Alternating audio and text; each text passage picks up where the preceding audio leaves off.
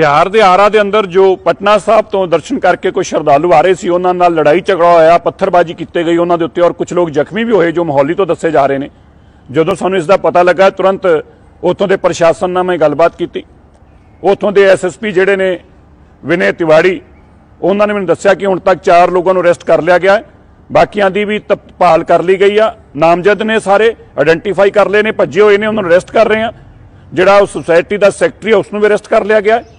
ਜਿੱਥੇ ਅਸੀਂ ਇਹਦੀ ਕੜੇ ਸ਼ਬਦਾਂ 'ਚ ਨਿੰਦਾ ਕਰਦੇ ਹਾਂ, ਉੱਥੇ ਨਿਰੰਤਰ ਇਸ ਕੇਸ ਦੇ ਪ੍ਰਤੀ ਅਸੀਂ ਇਸ ਨੂੰ ਲੜਾਈ ਲੜ ਕੇ ਇਹ ਯਕੀਨੀ ਬਣਾਵਾਂਗੇ ਕਿ ਨਾ ਕੇਵਲ ਸਾਰੇ ਅਰੈਸਟ ਹੋਣ, ਬਲਕਿ ਇਹਨਾਂ ਤੇ ਕੇਸ ਵੀ ਚੱਲਣ ਔਰ ਇਹਨਾਂ ਨੂੰ ਸਜ਼ਾਵਾਂ ਵੀ ਹੋਣ।